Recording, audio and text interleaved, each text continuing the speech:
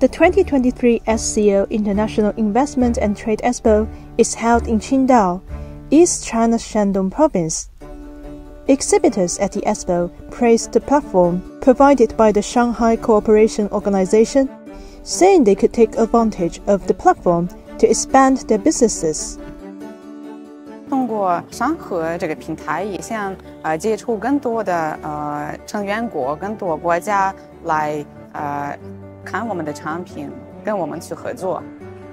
We are very thankful to SCO and this is a very big platform. Nowadays China is a very big market. It's a very big hub of China. So I think this is a good chance for us. We not only introduce our products, but we also introduce our culture and we promote tourism and we establish business to business and people to people contact